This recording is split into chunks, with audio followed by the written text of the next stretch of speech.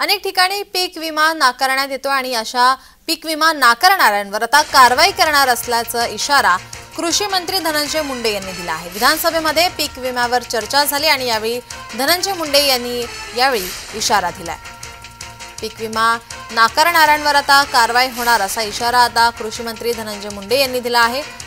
यावेळी विधानसभेमध्ये पीक विम्यावर चर्चा झाली. शेतकऱ्यांना पीक विमा मिळत नाही त्यामुळे शेतकरी हतबल झाले आहेत. पीक विमा नाकारणाऱ्यांवर आता कारवाई करण्याचा इशारा देण्यात आलाय. बाबत पूर्ण तपासणी केल्यानंतर सुद्धा या सहा हजार नऊ शेतकऱ्यांना जी माहिती समोर येते आहे ती माहिती अशी आहे की बॅरल लँडवरती या ठिकाणी केळी दाखवली आहे. ती माहिती अशी आहे की नदीच्या काठी नदी पात्रामध्ये केळीचं क्षेत्र दाखवलेलं आहे. असे ह्या सर्व गोष्टी ज्या वेळेस इमेजेसमध्ये प्र- पुरावे म्हणून प्राप्त झाले त्यानंतर पीक विमा कंपनीला सुद्धा ती विमे निकाली काढण्याच्या बाबतीमध्ये अडचण आली त्यामुळे त्या पीक विमा शेतकऱ्यांना आता मिळू शकत नाही.